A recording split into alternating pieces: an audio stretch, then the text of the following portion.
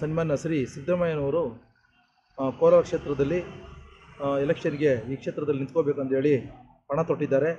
ಹಾಗಾಗಿ ಸನ್ಮಾನ್ಯ ಸಿದ್ದರಾಮಯ್ಯ ಸಾಹೇಬ್ರೆ, ನೀವು ಕೋಲಾರಕ್ಕೆ ಬರೋಕ್ಕೆ ಮೊದಲು ಗಠಬಂಧನವರು, ಅವರು ಯಾವ ರೀತಿಯಲ್ಲಿ ಇಲ್ಲಿ ಬೇರೆ ಇತರ ಇತರ ಪಕ್ಷಗಳ ಜೊತೆಯಲ್ಲಿ ಸೇರಿ ಮಿಂಗಾಲಾಗಿ ಬೇರೆ ಬೇರೆ ಪಕ್ಷಗಳನ್ನ ಯಾವ ರೀತಿ ಗೆಲ್ಲಿಸಿದ್ದಾರೆ ಅಂತಕ್ಕಂಥದ್ದು ಇಡೀ ಜನರಿಗೆಲ್ಲ ಕೋಲಾರ ಕ್ಷೇತ್ರದಲ್ಲಿರ್ತಕ್ಕಂಥ ಜನರಿಗೆಲ್ಲ ಗೊತ್ತು.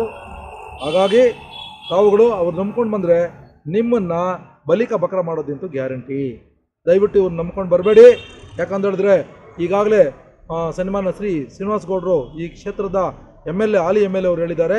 ಹದಿನೇಳು ಕೋಟಿ ರೂಪಾಯಿ ನಂಗೆ ಸಾಲ ಐತೆ, ನಾನು ಎಂ ಎಲ್ ಸಿ ಮಾಡ್ತೀನಿ ಅಂತ ಹೇಳಿ ಹೇಳ್ಕೊಂಡು ಸುತ್ತಾಡ್ತಾ ಇದ್ದಾರೆ.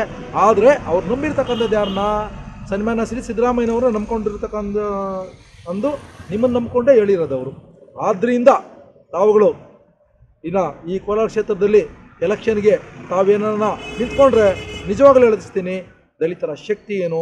ದಲಿತರು ಯಾತಕ್ಕಾಗಿ ಇವತ್ತು ನಿಮ್ಮ ವಿರುದ್ಧವಾಗಿ ಪಣ ತೊಟ್ಟಿದ್ದಾರೆ ಅಂತ ಹೇಳಿದ್ರೆ ನಮ್ಮ ಒಂದು ಜನಾಂಗದ ಮುಖಂಡರುಗಳನ್ನು ತಾವು ಸೋಲಿಸಿದ್ದೀರಾ? ಹಾಗಾಗಿ ನಿಮ್ಮ ಮೇಲೆ ನಿಮ್ಮನ್ನು ಸೋಲಿಸಿ ಈ ಕೋಲಾರ ಕ್ಷೇತ್ರದಲ್ಲಿ ನಿಮ್ಮನ್ನು ವಾಪಸ್ ಕಳಿಸ್ತೀರಿ.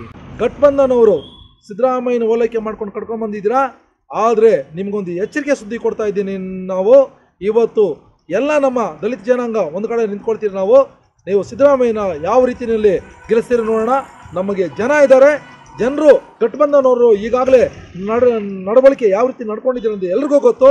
ಏನೋ ಗಠಬಂಧನವರೇ, ನೀವು ಸಿದ್ದರಾಮಯ್ಯ ಯಾವ ರೀತಿಯಲ್ಲಿ ಗೆಲ್ಲಿಸ್ತೀರಿ ನಾವು ನೋಡ್ತೀವಿ ನಾವು ಚಾಲೆಂಜ್ ಮಾಡ್ತೀವಿ ನೋಡೋಣ.